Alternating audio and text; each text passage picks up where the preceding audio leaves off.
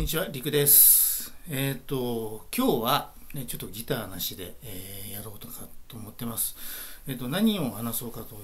と、話すという、話します、今日は。えっ、と、何を話すかというと、えー、と僕は、まあ、ちょっと YouTube を今、半年、もう半年なんて言わないですね、もっとやってますね。えーでも、まあまあ、まあ、まだ半年なんです。で、その中でいろいろ分かってきたことがあって、えー YouTube をやって分かった著作権というのがあります。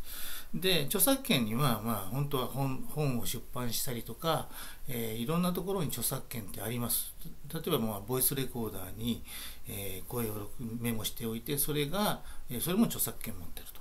いうのがありますけれども、えー、と今回特に音楽についての著作権、えー、と基本はですね、えー、と今、えー日本では、まあ、今まではジャスラックというのが、えーかなり、えー日本のその著作権を全部あの握ってて、えーということでいろいろ、まあ、あの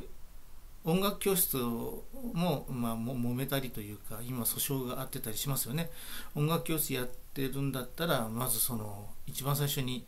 えっ、とまあ演奏するには著作権を、えー支払支払わないと基本的にはダメなんです、えーそれが最近、えージャスラックと音楽教室が揉めてる件っていうのが、えー人楽、えー違う違う日本音楽著作権協会これがジャスラックなんですけどもあと音楽教室ですね。山とか河合とかいろいろありますけど、えー、とそその著作権使用料を徴収するっていうのが不当だと JASRACがそういうのを徴収するって言ったんです。そしたらそれは不当だっていうふうになって、えーそれが、えーまあ、音楽教室の、えーその、まあ、事業者がまとめて、えーその徴収権がないっていうことを裁判にしたと。で第一審でというか、えーまあ、それが最初は JASRACが払うのが、えージャスラックに、えー著作権料を払うのが、えー正当ですよと。っていうのは 例えばライブハウスなんかでもそうなんですけど、まあ、基本的に包括的包括、えー契約っていうのを結んでて えっ、と包括契約っていうのを結んでてその、えーもういくらいくらもう月にいくらかな月なのか年なのかちょっとよくた確か月だったと思うんですけど月にいくらを払っていればもうどんだけ演奏してもそれはもう含みますよみたいな形でそういうふうな契約をしているところが多いんですけど、まあ、例えば音楽教室にしてもそれをこうそうしないかなというふうな、まあ、1曲にいくらっていうこともできるんですけどもまとめていくらっていう払い方、えーこういうのが包括契約と言います。でこれはカラオケボックスとかもあの一緒ですね。あのスナックのカラオケなんかも一緒ですだから、えーそれを、まあ、カラオケとか入れていればタダじゃないとで、えっ、と、まあ、大審でそのジャスラックの言い分が全面的に通ったんですけど、最近ですね、えー控訴審っていうのがあって、えーそこでは、えっ、と、例えば音楽教室で生徒が弾くのは、これはもう仕方ないでしょうと。で、えー先生が弾くのはでも、えー中に内部潜入してたらしいです。2年間ぐらい。先生について生徒として、えーそのジャスラックの人が入って、えー見てたら先生の演奏が素晴らしい、まあ、上級コースだったらしいですけどね、えー、と先生の演奏はもう演奏会みたいに素晴らしかったと。でそこの、えー、とところには誰も入ってこれたりするのでまああの結局演奏会と一緒だと。で、えーまあ、いろんな言い分あるんです。あの生徒から費用も取ってるんで、えー授業料も取ってるんで、えー、とその中にやっぱり、えー著作権料を払う部分が入ってるんじゃないかというふうなことなんかいろいろあります。で まあそれまだまだあの結論出てないんですね、まあ、どうなることかなと思ってますけれども、まあ、今言った包括契約、まあ、包括許諾契約っていうのが正式名かな。でそれが、まあ、カラオケボックスとかライブハウスとか、えー実はこの YouTube もそうなんですね。YouTube が、えーもうですしインスタグラムとか、えーまあ、ニコニコ動画とか、えーあと Facebook えー、こういうのは、まあまあ、いくつかこうえーと、包括契約あったんですこの間僕ちょっと調べたのがネクストが気になったんで特に僕猫なんかどうなるんだろうと思って、えー、見たら、えーと、YouTube ニコニコ動画 Facebook インスタグラム TikTok ツイキャスそれから何ていうのかな、えー、ショールームかと LINE ライブとかえーと、そういうそういうのは包括契約しましたよっていうのが載ってたんでちょっと安心したんです。えー、というのは僕猫をえー、Facebook にも投稿したりしてたんで大丈夫かなと。インスタにちょろっと出したりとかですね。してたんでそこはもうちょっと真剣に調べました。でそれは包括契約され包括契約をしてあったので、まあ、大丈夫っていうことだったんですけどえっ、ー、とまあこれがえーと、少なくとも、えー、去年の2020年の10月19日の、えー、ネクストン発表の中にあったので、えー、いいんですが気をつけていただきたいのはツイッターは入ってないです。ツイッターで僕も友達からツイッターに上げたらどうなの？と。あの特に YouTube 見てねっていうんで自分の演奏ツイッターに上げたらどうなのって言われて上げようと思ったんですけどツイッターはちょっと僕が知ってる中ではもうすごくハードルが高くていやそこにちょっと僕が、うん、上げるのは無理だなと思ってたまたま上げてなかったというのがあります。でまあ Facebook とかインスタとかこう僕も上げてたんですけどね。で まあその音楽関係の、えーまあ、僕みたいにギターを弾いてみたとかあるいは色これあるの歌ってみたってありますよね。演奏してみた。これのやっぱり著作権っていうのが、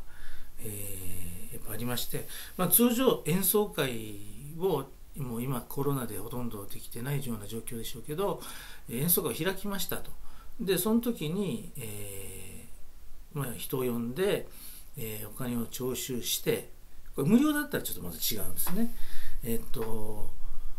お金を徴収して、えー、そこで演奏して、えという時に、えまあ、曲目を演奏しますよね。それがえっ、と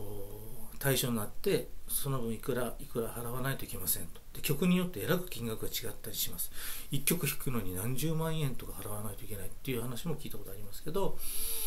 えっ、ー、とまあ特にその弾いてみた歌ってみたっていうやつですけれども弾いてみたはえっ、ー、とまずどどんなのかというとえーいろいろちょっとごめんなさいね、えー、もうちょ僕もちょメモはしてきてるんですけどいろいろちょっと言わなくちゃいけないことが多すぎて。まずライブハウス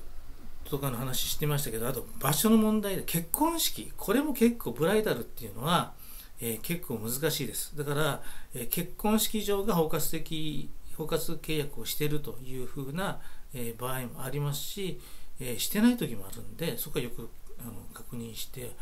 ほしいんですね。であと、えー、大事なのお,、えーと、お店で BGM とかなんか流れてますよね。あれは、えーと、いくつかあのあって有線放送とかなんかだったらもう有線放送がもう包括契約やってたり、えー、あるいはお店が CD を買ってきて CD をかけますとこれのやっぱりあの年間の包括契約みたいなものをしてると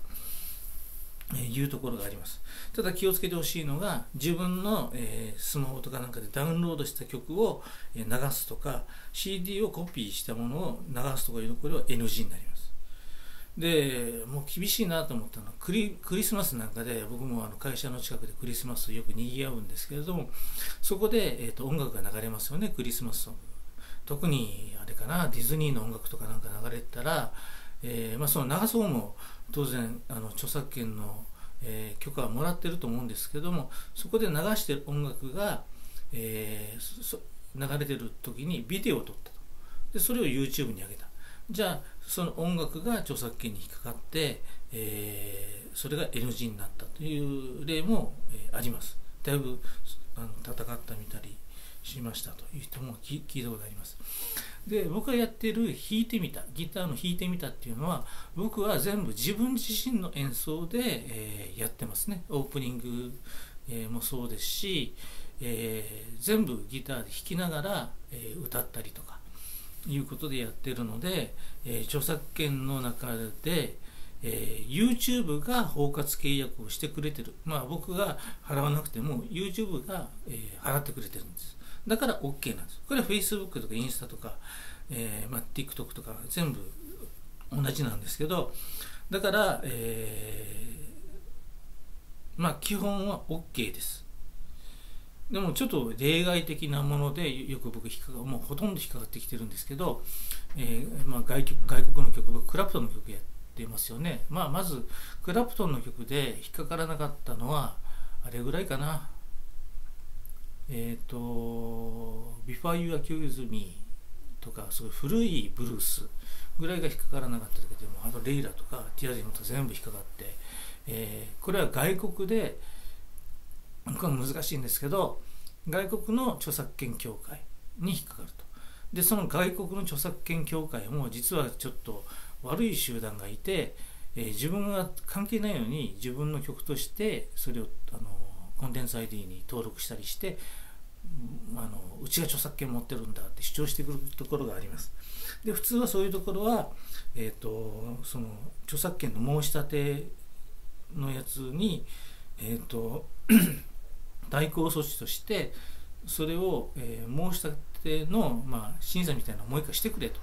いうふうなのをこう上げることができるんです。それはまあ2回ぐらい上げられるんですけど再審査っていうのがありますけど、えー、それをやることによって、えー、クリアになったのがあります。結構尾崎なんか引っかかるんですね。えー、尾崎のやつを持ってるところはなんかこう1箇所ありますけども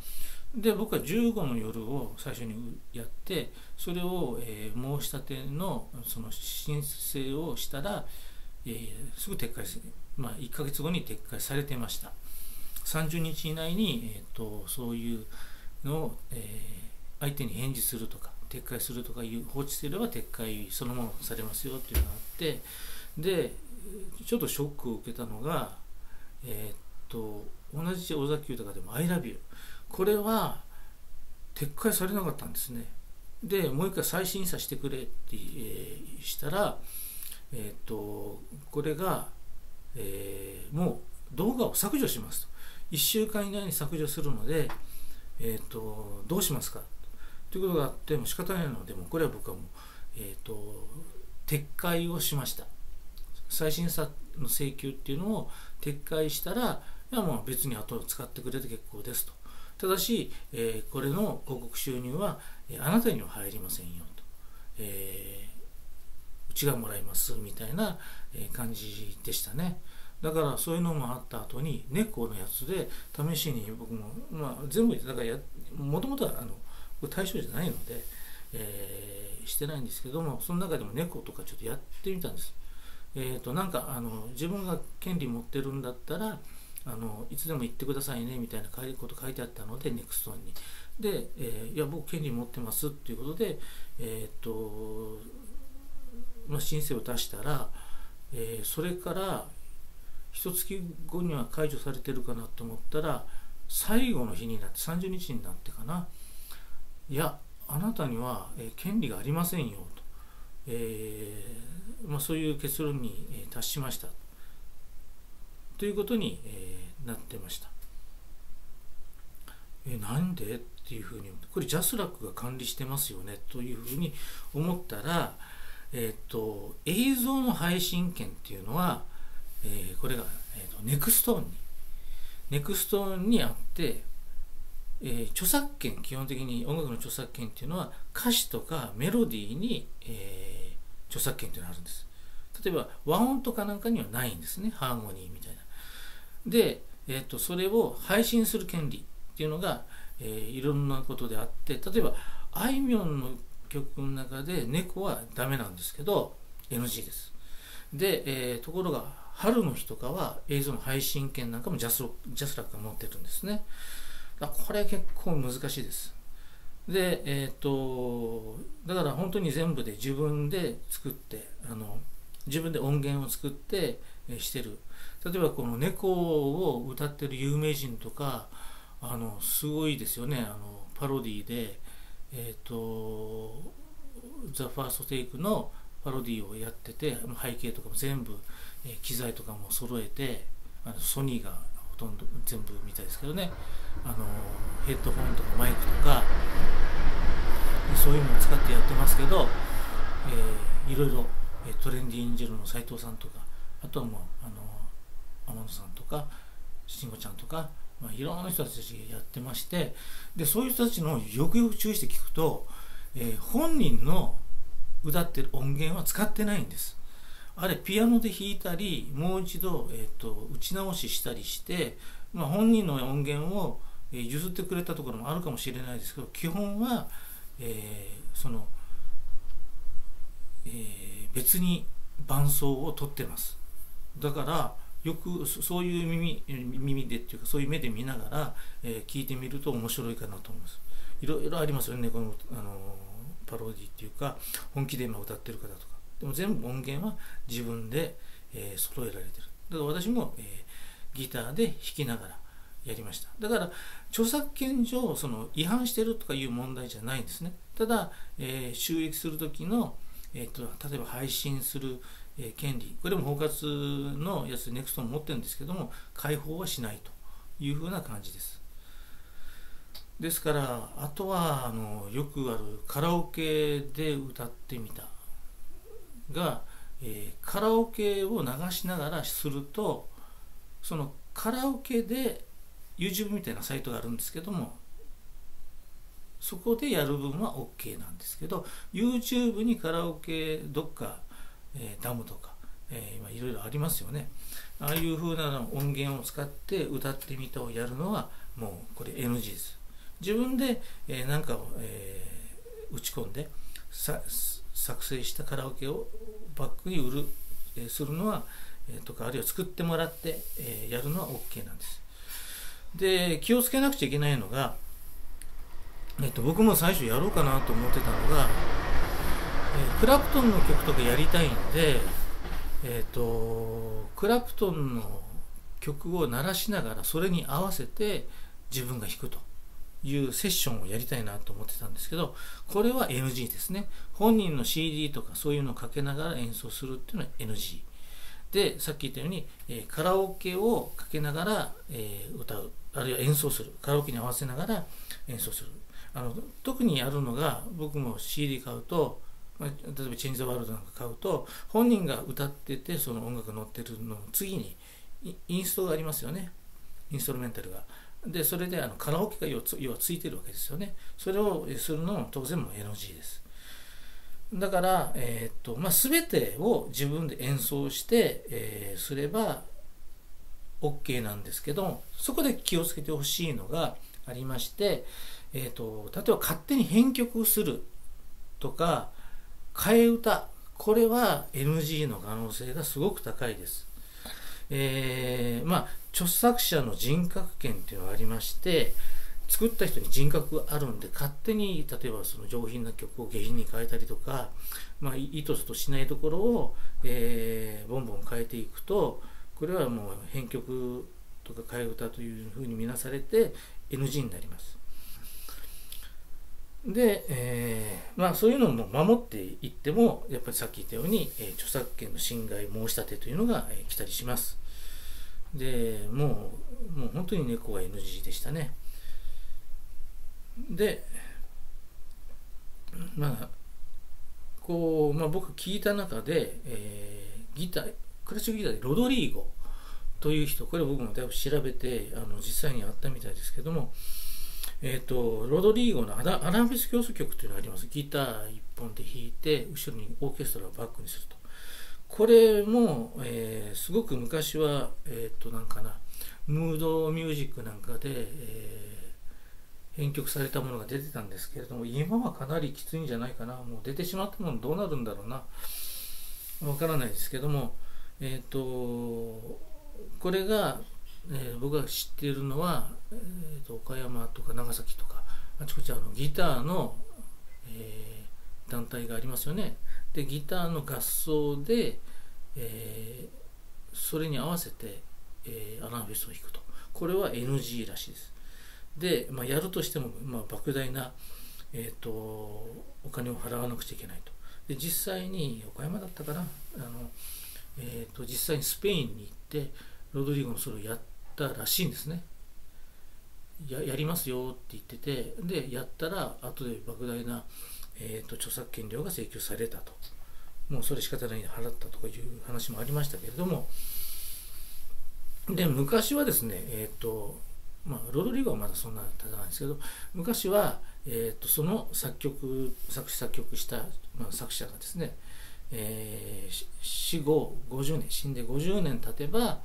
まあ、厳密にはこれ1月1日からとかなんかこうあるみたいですけども死後50年経てば著作権フリーというふうになってたんですがすっごい昔の曲は著作権フリーですね。さっき言ったように、えーと、古いブルースとかまああの例えばバッハみたいなすごいあの昔の、えー、人であれば著作権フリーです。で、まあ、最近70年にでもそれが変わりましたね。だから死後70年は著作権がついて回るということ。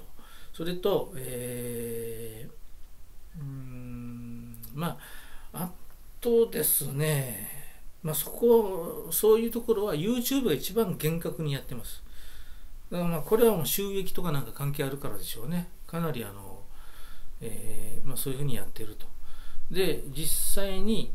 メロディーマッチング技術っていうのがありますけれども、それが稼働してるのは YouTube だけなんですね、今のところ。で、まあ、それさっき言ってましたコンテンツ ID っていうのが登録されて、それとマッチングさせて、えー、してると。で、えっ、と、正直言って僕が一番気にしてるところなんですけど、えー、インスタグラム、これ僕大、今もう僕もかなりあのフォローしてる人、フォローされてる人、お互い、まあ、いたりするんですけれども、インスタグラムで結構な方がですね、えっ、ー、と、動画をアップしてるんです。まあ僕がやってるのはワンちゃんの、えー、インスタグラムなんですけれども、そこで、まあ、大好きなワンコがいますね。えー、もうすごくいいんです。で、その方が、っていうか、その方たちがですね、結構な方たちがそうされてるんですけども、あのワンコの動画を撮って、その BGM に普通に CD をから、えー、撮った曲を流されてる。最近、まあもう現役で、えー、やられてる、えー、歌手のとか、え、まあその演奏を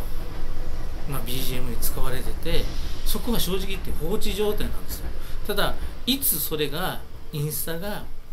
本格的に、えー、っと規制に乗り出すかっていうのがありますで、ツイッターもこれも絶対 NG ですから気をつけてください。ツイッターにそれやっちゃうともうすぐ、えー、引っかかります。で、えっ、と、その著作権の問題だと、もう民事上の問題、刑事上の問題が発生します。で、個人の場合だと、えーと、10年以下の、えー、懲役またはっていうか、まあ、どちらもあるんですけど1000万円以下の罰金っていうふうになります。これはもし法人がやっちゃうと3億円だったかな。3億円の、えー、罰金っていうのがあります。ですから、えー、YouTube もですけども、まあ、皆さんインスタとかそういうの大丈夫ですか？もう本当に僕があの大好きなあのフォロワーっていうフォローをしている人がもう仲間と思ってますけどいます。だからえ、ー、と、まあ、その投稿のところで BGM に CD の音源とかなんかを使ってる人はもうすぐやっぱりなんとか対応してほしいですね。それも仕方ないかな。消さないといけないかなっていう感じです。でそうそうしてなければえっ、ー、とまあ消されてしまうことがまずは一つありますね。それで OK で、えー、ならいいんですけれどもさっき言ったような、えー、民事上とか刑事上の、ところまで発展する可能性もないわけじゃないので、え特にインスタで、まあ、いい投稿されてる人たちたくさんいるので、そこだけ気をつけてほしいなと思います。まあ、YouTuber も本当に厳格ですから、え多分、えすぐ行ってきますね。で、ただですね、あの YouTube どんどんどんどん規約を変更していってるので今までは、えー、まあ、僕はもうさっきから言ってるようにあの広告収入とかそういうのはないんですけども今まで広告収入で、えー、この動画はもう1日もう何万回も、えー、再生されて1日あたりあのもうすごいこう金額が入ってきてたっていう人もある日突然その動画 NG になったりする可能性があるんです。これ著作権の問題が、えー、あったりしますし著作権じゃない場合だってあります。あの YouTube だったらその暴力的であるとかあの特に子供の、えーと、映像とかえっ、ー、と多分これは、えー、女性はもちろん男性が、えーと胸出てたりしたらもう N 字になったりもう現在もするわけですからどこでどういうふうにラインが変わるか分かりません。だから、えー、特に音楽関係に関しては、えー、そういったところも、え気をつけてやっていってほしいと思います。えー、もう一気に喋っちゃいましたけれども、え僕から以上になります。えー本当に著作権気をつけてください。以上です。じゃあ失礼します。あまた次回お願いしますね。